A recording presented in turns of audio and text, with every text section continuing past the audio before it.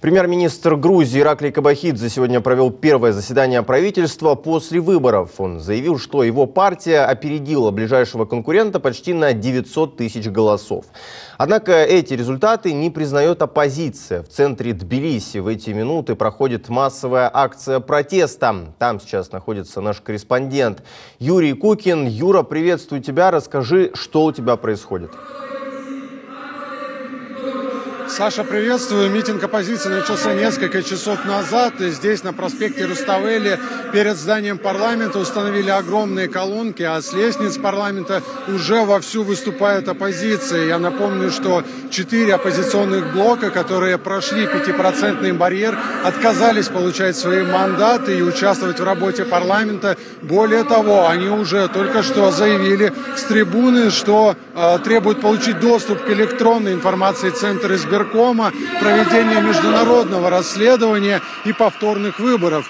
Отказалась признать итоги голосования и президент страны Саламе Зарубишвили, она выступила первой сразу после гимна и заявила, что намерена а, продолжать э, поддерживать народ до конца на его пути к евроинтеграции. Но я напомню, что именно президент Саламе Зарубишвили призвала, а, собственно, граждан Грузии выйти на массовые акции протеста, чего и как оппозиция хочет добиться этими митингами. Ранее она объяснила в интервью Associated Press. Давайте послушаем. Это способ показать, где находится население. Это не обязательно рычаг давления, потому что люди очень миролюбивы и будут очень миролюбивы, потому что население здесь знает, какова наша геополитическая обстановка. Вот почему они всегда очень взвешенно и очень сознательно относятся к поддержанию стабильности. Но это способ, которым население может показать, что у него нет другого способа выразить, что его голоса были украдены, что его будущее было украдено. Amen. Стоит отметить, что митинги анонсировались и на день голосования, и в воскресенье, но вот все началось только сегодня, уже после официальных публикаций данных а, Центра избиркомом. Оппозиция во главе с Саламе Зарубишвили обвиняет грузинскую мечту в пророссийской позиции и фальсификации выборов, благодаря чему та и смогла получить 53% а, голосов. Ранее оппозиционные опросы давали грузинской мечте не больше 40%. В самой правящей партии на это заявляют, что а, оппозиционные исследовательские центры подтасовали данные экзит-полов а, и называют свою победу убедительной. Вот что об этом говорил премьер-министр страны, страны Иракли Кабахидзе. Давайте послушаем его.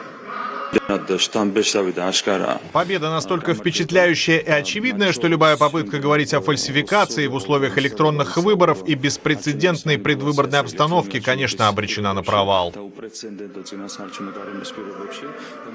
Ну, накануне прошла пресс-конференция международных наблюдателей. Ее итогов и итогов их оценки ждали многие, в том числе и один из оппозиционных блоков за Грузию, экс-премьер-министра Георгия Гахария. Так вот, международные наблюдатели, в том числе от ОБСЕ, от Парламентской ассамблеи НАТО, а также Европарламента, отметили, что организация выборов прошла на высоком уровне, однако они указали на многочисленные нарушения, которые проходили в сам день голосования, назвали назвали атмосферу на дне голосования напряженной. Они сказали и о вбросах бюллетеней, и о проблемах с маркировкой избирателей. Ее наносят специально, чтобы один человек не мог проголосовать дважды. А также говорили и о подкупе людей, и о давлении на наблюдателей, а также оппозиционных журналистов.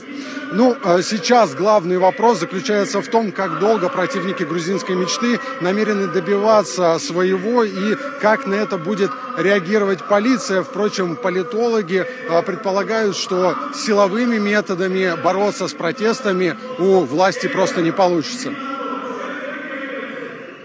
Я согласен с мнением, что у грузинских властей нет достаточной силовой структуры. Это никогда не было. Потому что Грузия очень маленькая страна, и все друг друга знают. Полицейский э, чей-то сосед, чей-то родственник. И обычно они не очень... Потом у них очень маленькие зарплаты за какие-то тысячи, две тысячи лари они не будут стрелять, скажем так, своих потенциальных соседей и родственников. Силовыми методами вряд ли у грузинской мечты получится подавить какое-то сопротивление. Вопрос в другом. Насколько общество готово на это?